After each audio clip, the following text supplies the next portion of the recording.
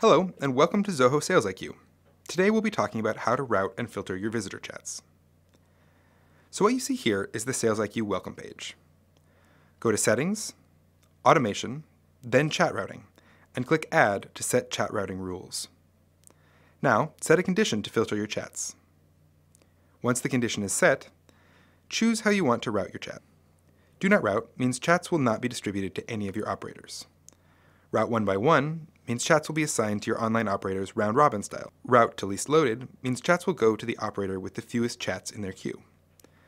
Route to selected operators means chats will be routed to a specific list of operators. To filter your chats further, click the plus symbol to choose your operator. Once that's done, you're good to go. You can also add more rules by clicking here. To delete a particular rule, just hover over the rule and click the delete icon.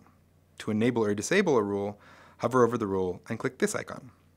Thanks for watching. Stay tuned for more videos with Zoho Sales IQ.